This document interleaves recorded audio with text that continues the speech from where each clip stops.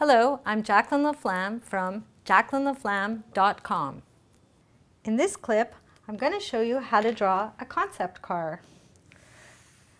The nice thing about concept cars is that you can totally use your imagination.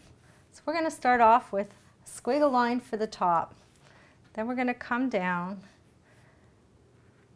and box out the back. Maybe put a little exhaust in and come in I think we should leave a little space here for the tires. Come around and let's see, how's the front of this car going to look? I think it should come to kind of more of a point. That would be kind of cool.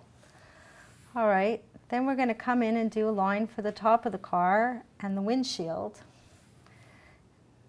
Maybe we can add a little window back in here just by drawing a long little triangle. And then we're going to just put in some wheels. Put in a little front wheel over here. And another little half circle. And then a circle for the tire.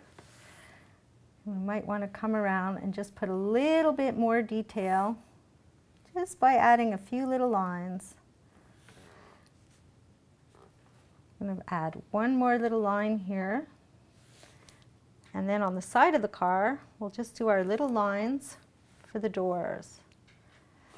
Maybe a little door handle. I think we need to put some cool racing stripes across the car so we can just do a nice long stroke like this. And you can picture this line in a really cool red or green racing stripe. Now I think this part here should be all glass. So maybe we can just put some little quick lines across here to show that this is glass. See how just a little few lines here and just a little bit of shadow, you can almost see that that looks like glass. And now I think we should bring out this front grill and add some lines to it to create the grill. And again, keeping in mind that concept cars really allow you to use your imagination and draw something completely new and different that hasn't been seen before. Maybe we should put some flames coming out of the exhaust. What do you think? So it looks like it's going fast.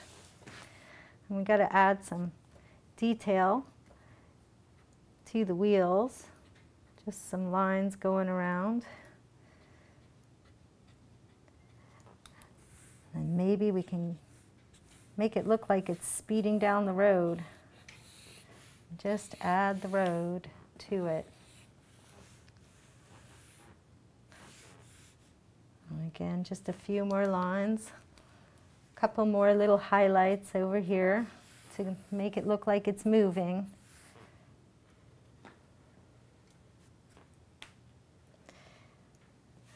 And there you have it.